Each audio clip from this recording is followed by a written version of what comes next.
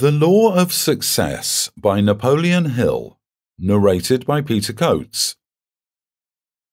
Dedicated to Andrew Carnegie, who suggested the writing of the course, and to Henry Ford, whose astounding achievements form the foundation for practically all of the 16 lessons of the course, and to Edwin C. Barnes, a business associate of Thomas A. Edison, whose close personal friendship over a period of more than 15 years served to help the author carry on in the face of a great variety of adversities and much temporary defeat met with in organizing the course. Who said it could not be done? And what great victories has he to his credit which qualify him to judge others accurately? Napoleon Hill Lesson 13 Cooperation. You can do it if you believe you can. Cooperation is the beginning of all organized effort.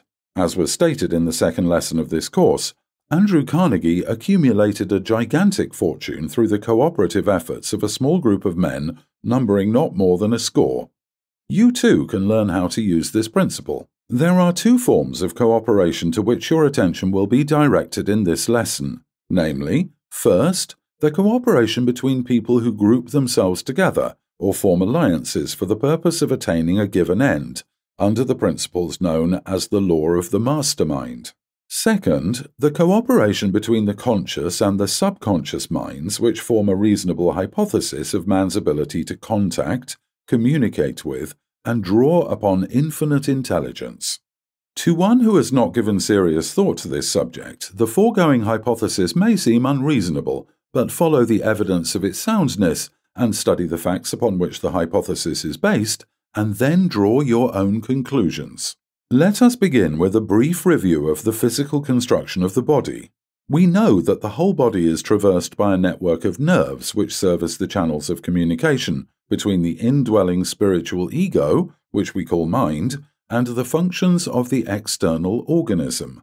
This nervous system is dual. One system, known as the sympathetic, is the channel for all those activities which are not consciously directed by our own volition, such as the operation of the digestive organs, the repair of the daily wear and tear of the tissues, and the like. The other system, known as the voluntary or cerebrospinal system, is the channel through which we receive conscious perception from the physical senses and exercise control over the movements of the body.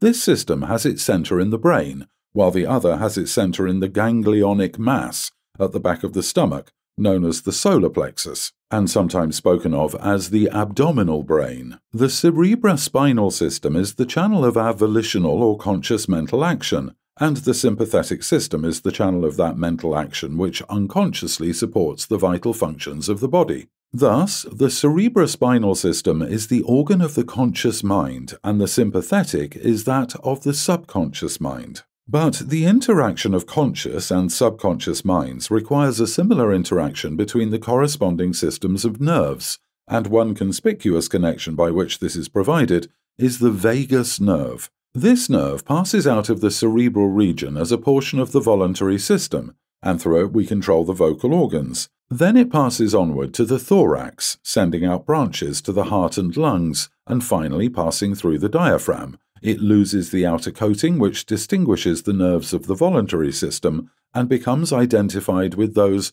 of the sympathetic system, so forming a connecting link between the two and making the man physically a single entity. Similarly, different areas of the brain indicate their connection with the objective and subjective activities of the mind, respectively, and, speaking in a general way, we may assign the frontal portion of the brain to the former and the posterior portion to the latter, while the intermediate portion partakes of the character of both.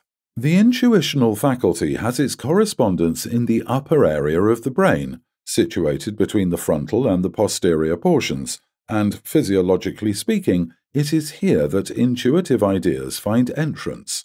These, at first, are more or less unformed and generalized in character, but are nevertheless perceived by the conscious mind, otherwise we should not be aware of them at all. Then the effort of nature is to bring these ideas into more definite and usable shape, so the conscious mind lays hold on them and induces a corresponding vibratory current in the voluntary system of nerves, and this in turn induces a similar current in the involuntary system, thus handing the idea over to the subjective mind. The vibratory current, which had first descended from the apex of the brain to the frontal brain and thus through the voluntary system to the solar plexus, is now reversed and ascends from the solar plexus through the sympathetic system to the posterior brain. This return current indicating the action of the subjective mind. If we were to remove the surface portion of the apex of the brain, we should find immediately below it the shining belt of brain substance called the corpus callosum. This is the point of union between the subjective and objective.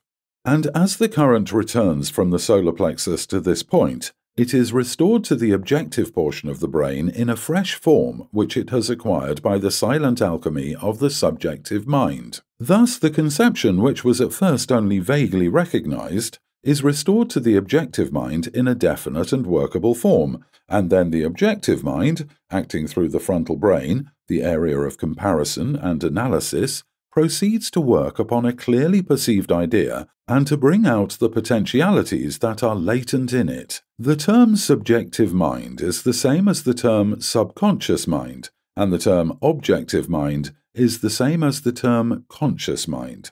Please understand these different terms.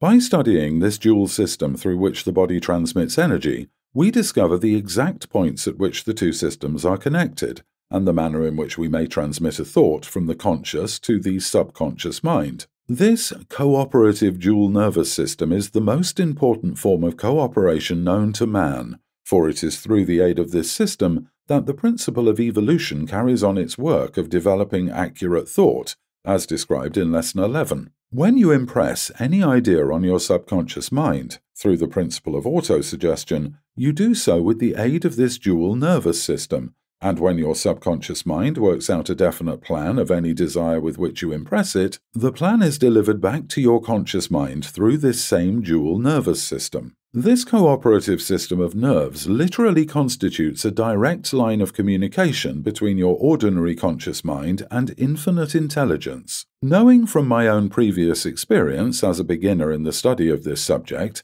how difficult it is to accept the hypothesis here described, I will illustrate the soundness of the hypothesis in a simple way that you can both understand and demonstrate for yourself. Before going to sleep at night, impress upon your mind the desire to arise the next morning at a given hour, say at 4 a.m., and if your impression is accompanied by a positive determination to arise at that hour, your subconscious mind will register the impression and awaken you at precisely that time. Now, the question might well be asked if I can impress my subconscious mind with the desire to arise at a specified time and it will awaken me at that time, why do I not form the habit of impressing it with other and more important desires? If you will ask yourself this question and insist upon an answer, you will find yourself very near, if not on the We hope you enjoyed this preview. To continue listening to this audiobook on Google Play Books, use the link in the video description.